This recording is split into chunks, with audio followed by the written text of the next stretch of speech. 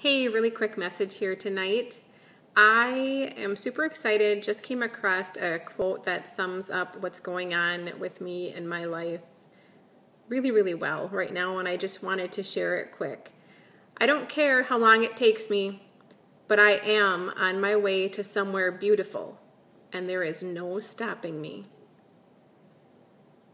It's by E. Hicks, and I'll be honest, I don't even know who that is, but I saw this image quote come up on my Facebook news feed, and it is so true right now.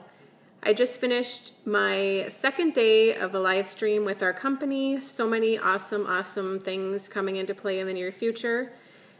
I have family and friends who have not necessarily been super supportive along my journey but there was something inside of me that told me to stick with it.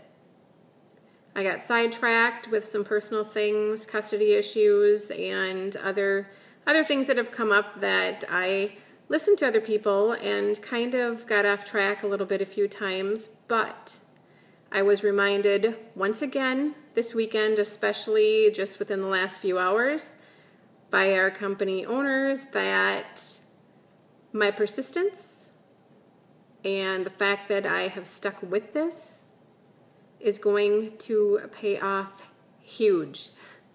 I'm not even joking. I am so ridiculously excited for what's coming and pretty damn proud of myself for not giving up like so many others wanted me to, like so many people are still trying to convince me to do.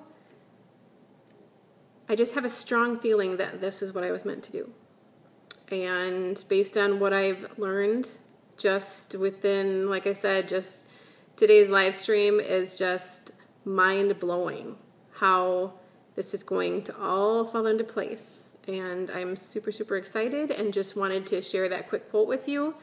And just a, a quick reminder to just be consistent and persistent. Don't give up on something that you really, really want in life, if it seems like it feels right for you or it's something that you really want, don't listen to other people because they don't know what's in your heart. They don't know what you're capable of. And I think a lot of times, guys, they're just scared because they don't have the balls to do it themselves and step up and change their lives. It's way easier to just sit and complain and not do anything. They don't want to see you succeed. But screw them, do it anyway You've got it in you. Just wanted to share that with you today. Have an amazing night, and I will be back tomorrow.